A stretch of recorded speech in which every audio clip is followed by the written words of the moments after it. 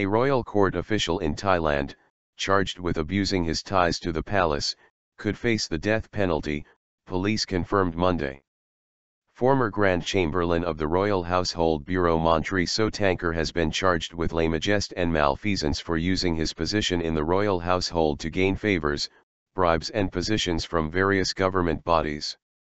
The 53-year-old, who worked for former Princess Srirasmi, could face the death penalty for the first charge and up to 15 years in prison for the second, a National Police Headquarters spokesperson confirmed to Anadolu Agency on Monday. Police General Prawuth Thawornsiri added that the Anti-Money Laundering Office, AMLO, had seized more than 10 million baht, $296,500, belonged to Sotangkur and that the case against him would be finalized by the end of the month.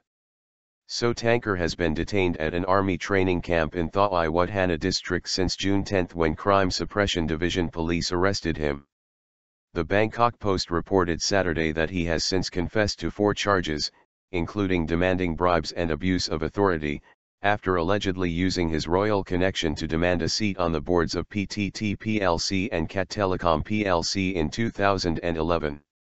He is also suspected of involvement with a criminal gang led by disgraced, convicted, and jailed former Central Investigation Bureau Chief Pol Lt Gen Pongpat Chayapan, an uncle of the former princess.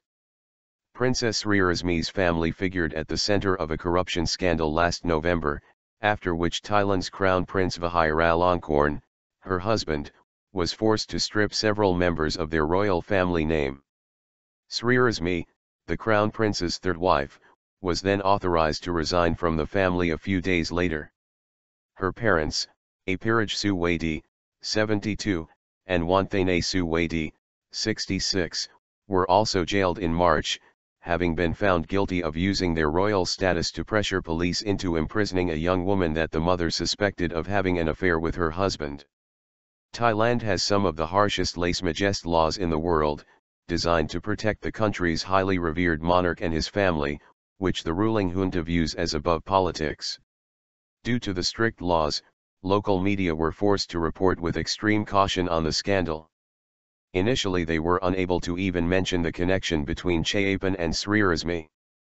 The law punishes offenders with jail terms of between 3 to 15 years.